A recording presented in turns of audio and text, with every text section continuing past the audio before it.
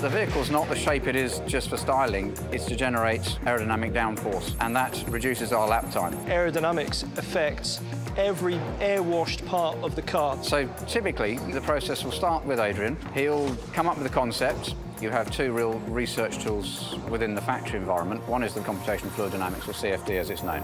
And that's basically like a virtual wind tunnel. CFD provides you with a great deal more flexibility to evaluate concepts without making anything at full size.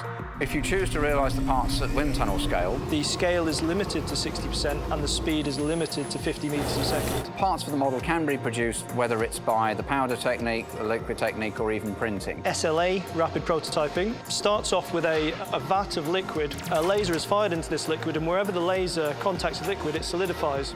Time is given equally to all teams. If we do a better job with our time, then we should be in a better state than our opposition.